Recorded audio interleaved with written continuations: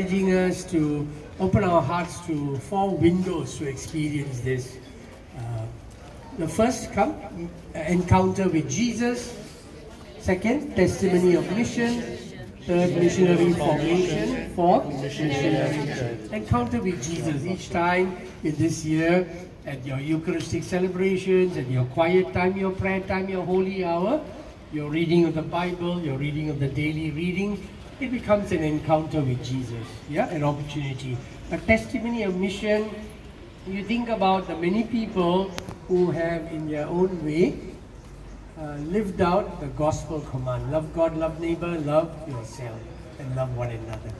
Wheels Ministry, senior citizens, yeah? Uh, your own parish priest.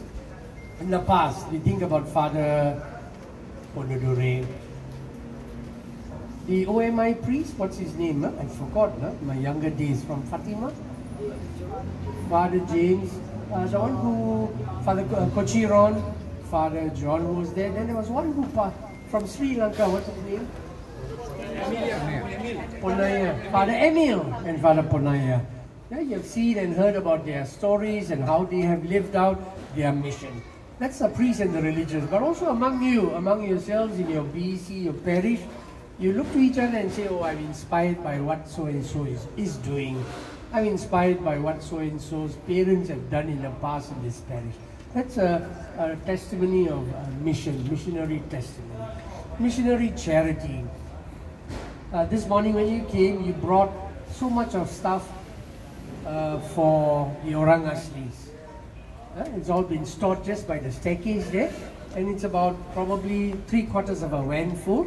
So sometime midweek, they will come from the parish of uh, St. Thomas Kuantan, the Orang Asli ministry, and they will collect this and send it out distribution. A small act of charity on your part, yeah?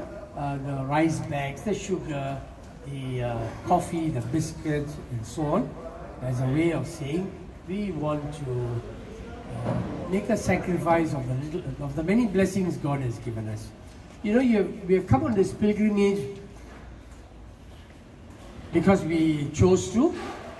Someone inspired us, someone invited us, we saw this in the bulletin. Yep. But deep down, we have gone also on pilgrimages to Rome, to Fatima, to Lourdes. Yeah, you've gone to St. Anne's, to Thailand, to Johor, to Malacca, and so on.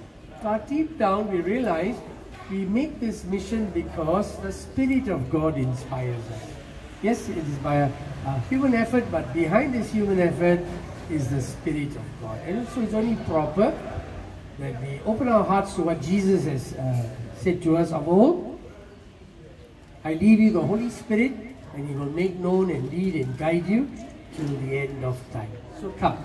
Come, Holy Spirit, we need you. Come, Spirit,